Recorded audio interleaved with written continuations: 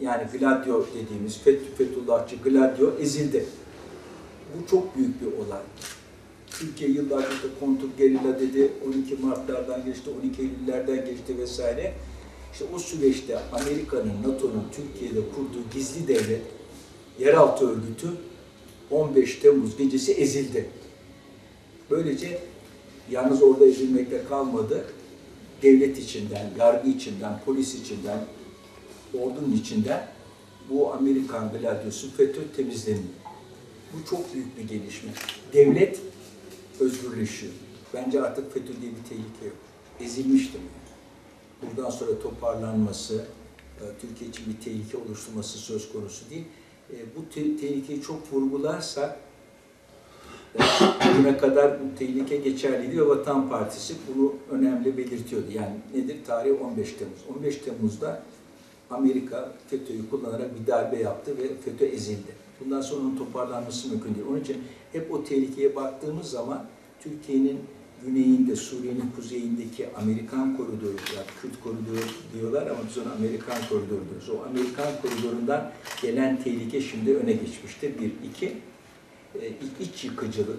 Yani Amerika'nın elindeki diğer bir kozda PYD'yi, PKK'yı kullanarak işte en son Cizre'de polis merkezimize e, yapılan bombalı e, kamyonla yapılan saldırılar vesaire bunların arkasında e, Amerika var. Bunun için şu anda birinci tehdit FETÖ değil ve örgütü dağılmıştır, ezilmiştir. Bundan sonra toparlanması biz pek mümkün görmüyoruz. Şunu da ilave edeyim. E, Biz de evet Fethullah Gülen'in Amerika tarafından iade edilmesi e, taleplerini ifade ettik. Bu, gösteriler de yaptık bu konuda Amerika Büyükelçiliği önünde defalarca. Fakat orada da çok fazla e, durmanın bir, artık bir önemi kalmadı. FETÖ diye bir şey kalmadı. Fethullah diye bir insan kalmadı. Yani o bir nevi bir cesettir. Yani Fethullah Gülen bugün bir cesettir. Yani bu cesedi Türkiye'ye getirsen ne getirmesen bir tehlike değildir. Şu bakımdan yanlış, onu alacağım diye bir şeyler verirseniz, yani kamuoyu önünde e, fiyaka yapmak için Fethullah Gülen'i alacağım diye karşılığında bir şey verirseniz Türkiye kaybeder. Onun için bunun bir ceset olduğunu saptayıp cenazesini ister yollasınlar ister yollamasınlar. Bu tavrın Türkiye için daha sağlıklı olacağı kanaatindeyiz. Ee, sanki e, mecliste idam kabul edilecekmiş gibi bir durum söz konusu. Bir kere idam tabii geçmişe uygulanamaz. Yani tekrar Türk Ceza Kanunu'na idam e, cezasını devlet aleyhine cürümlerle ilgili olarak yani vatan bütünlüğüne karşı, e, devlete karşı, orduya karşı terör eylemleriyle ilgili bir idam cezası getirilirse bu ancak o kanunun geçerli olmasından e, çıkmasından sonra, yürürlüğe girmesinden sonraki suçlara uygulanabilir. Eski suçlara hiçbir şekilde uygulanamaz. Türkiye'de bunu kimse değiştiremez ve öyle bir iddia da zaten gözükmüyor ortada. Önümüzdeki dönemle ilgili belki terör, PKK terörünü yıldırmak için e, böyle şeyler düşünülüyor. E, tabii e, tartışılabilir ama Türkiye'ye idam yakışmıyor. Yani Türkiye sorunlarını idamsız çözebilecek güçlü bir ülke. İdam biraz bir e, zaafı ifade ediyor. Yani bazı sorunları çözemeyenlerin son e, başvurusu oluyor. Onun için Türkiye'de tekrar idamı geri getirmek yerine teröre karşı kararlı ve doğru politikalar. Bakın basit, Suriye'yle işbirliği yapalım, PKK terörünü bitiririz. İran'la işbirliği yapalım, Kandil'e beyaz bayrak çektiririz. İran'la işbirliği yapalım, Vatan Partisi bunu savunuyor. İran'la işbirliği yapalım, Kandil tek bir tüfek atmadan beyaz bayrağı çeker. Biz onun e, PKK'nın açıkladığı gibi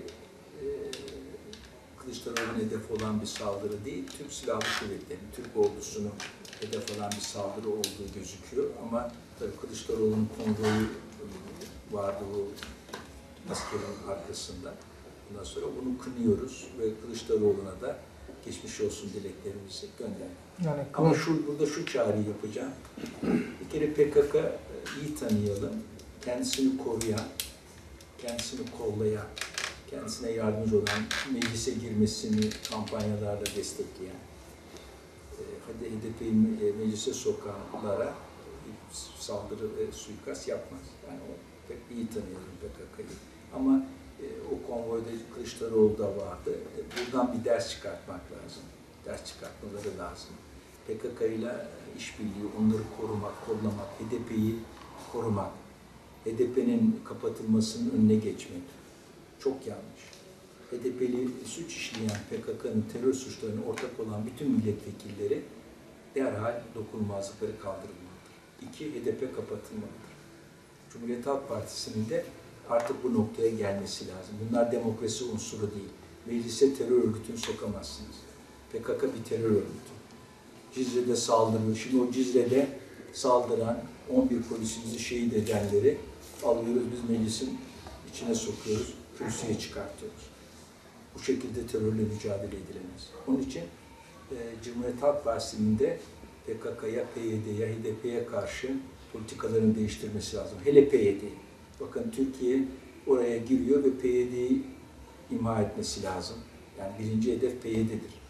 IŞİD'den önce birinci hedef Türkiye açısından PYD'dir. Ama o PYD'ye Cumhuriyet Halk Partisi sahip çıkıyor. Ve harekatı da o IŞİD'e doğru sık yönlendirerek PYD'ye dokunma şeklinde bir siyaset izliyor. Bunlar yanlış siyasetler. Bunlar aynı zamanda önümüzdeki dönem Cumhuriyet Halk Partisi ile birlikte Türkiye'yi yönetmenin mümkün olmadığını da gösteriyor.